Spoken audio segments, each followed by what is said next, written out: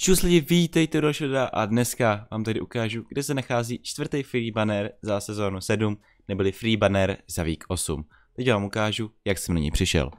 Na loading screenu za week 8 vidíme Ice Kinga, jak stojí na hradbách ve svém hradu.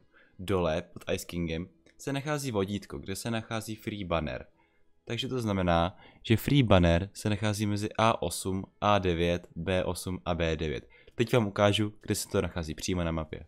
A lidi, abyste si mohli ten free banner vyzvednout, musíte mít Battle Pass a musíte mít splněný všechny 8 challenge, tady 5 a tady taky. Teď vám teda ukážu, kde se nachází přímo ve hře.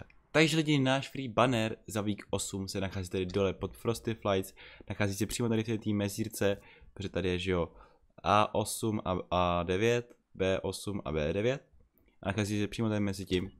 A je to tady tenhle ten uh, kousek, kde není sníh. A tohle byl náš banner za week 8. Lidi, teď vám ještě ukážu, jak vypadá v lobíčku. Ukážeme si, jaké je na něj hezká barva a tak. Takže lidi, toto je náš free banner za week 8.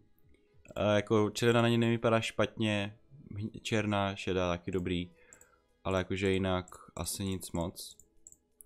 Možná, že takováhle oranžovo-žlutá, oranžová spíš. A nebo takhle, takováhle modrá. Ale červená asi nejhezčí.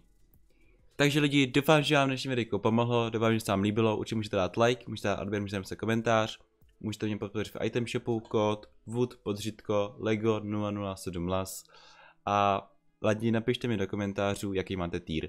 Já už třeba mám týr 100, mám, mám tady Ice Kinga a už ho mám na týru 3, takže tak. Vidíme se nějakého další videjka a s tím ahoj!